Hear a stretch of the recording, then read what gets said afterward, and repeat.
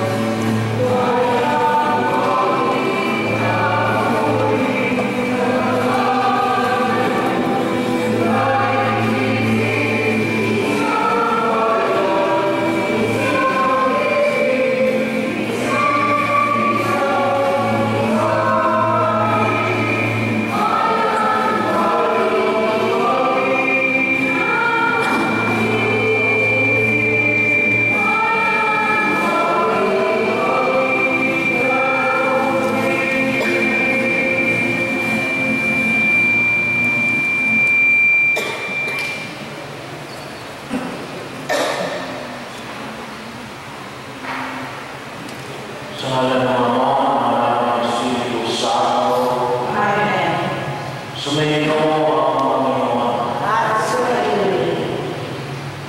Bagay